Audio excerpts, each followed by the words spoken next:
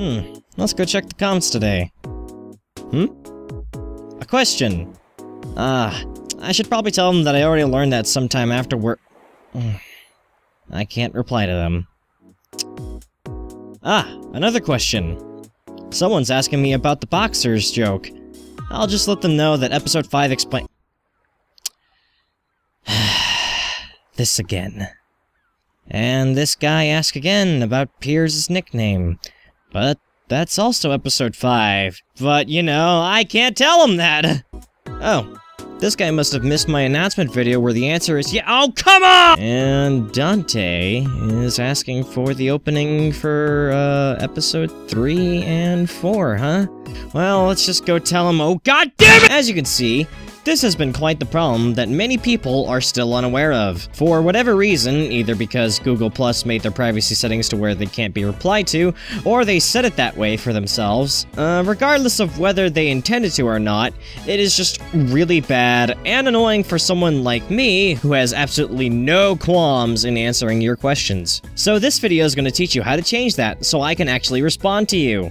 And possibly other people. Unless you're going to leave it that way because you're going to troll people, don't do that. That'll just get you banned from commenting and just get you in general trouble with Le Authoritas. There are multiple ways you can get to your Google Plus account. Here's two ways that I'm used to. 1. Go to your YouTube channel.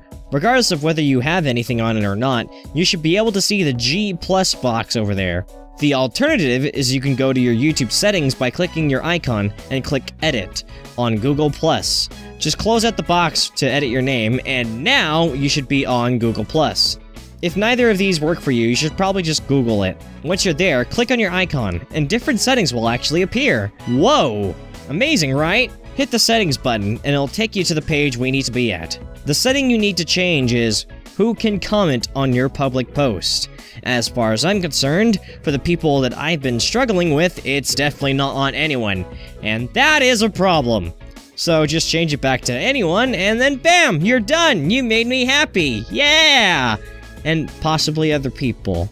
Spread awareness, because this is just getting ridiculous. I don't wanna... I, I'm getting tired of this. I wanna tell you people things when you ask me, so...